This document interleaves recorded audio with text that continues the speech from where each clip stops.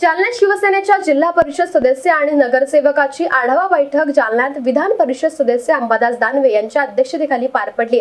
यावेळी दानवे यांनी सदस्यांना मार्गदर्शन केलंय. आता आपण अनलॉकच्या दिशेने वाटचाल करत आहोत आणि नगरसेवक तसेच जिल्हा परिषद सदस्य यांनी लोकांमध्ये जाऊन कामाला लागले पाहिजे. त्याचबरोबर आपल्या भागामध्ये काम देखील केलं पाहिजे. लोकांना सुविधा दिल्या पाहिजे. या अनुषंगाने आज अंबादास दानवे यांच्या अध्यक्षतेखाली बैठक बोलवण्यात आली होती.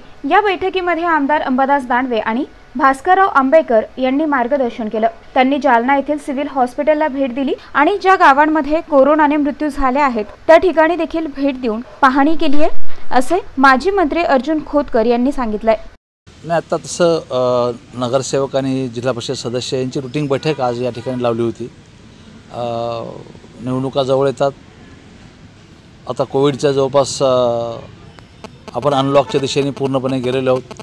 त्यामुळं नगरसेवकांनी आणि जिल्हा परिषद सदस्यांनी कामाला लागलं पाहिजे आपापल्या भागामध्ये. लोकाला सुविधा दिल्या पाहिजेत. त्यांनी सिव्हिल हॉस्पिटलला भेट दिली. काही गावामध्ये डेथ झाल्या होत्या तिथंही भेट दिली आहे आणि ही बैठक निवडणुकीच्या संदर्भात ज्या ज्या तयारी चालू झाली असं समजावं. नाही तयारी म्हणून नाही रुटीन तशी. बघा आता कोविडच्या प्रद प्रादुर्भावामुळे गेले चार महिने कोणीही कोणाच्या संपर्कामध्ये नाही. आता अनलॉक केंद्र सरकारने राज्य सरकारने अनलॉक डिक्लेअर केलेला आहे. त्या ठराविक वेळेमध्ये आपल्या पदाधिकाऱ्यांनी काय केलं पाहिजे या संदर्भातला एक आढावा घेण्यासाठी बोलवलं तसं काही त्यामध्ये निवडणुकीला अजून अवधी आहे. पण तरी कायम कार्यकर्त्यांनी त्याहीच राहिलं पाहिजे अशी भावना असते. यावेळी बैठकीला जिल्हा प्रमुख भास्कर आंबेकर ए जे बोराडे माजी आमदार संतोष सांबरे जिल्हा परिषद सदस्य आणि नगरसेवकांची उपस्थिती होती. जालनाहून सुयोग खर्डेकर एमसेन न्यूज जालना.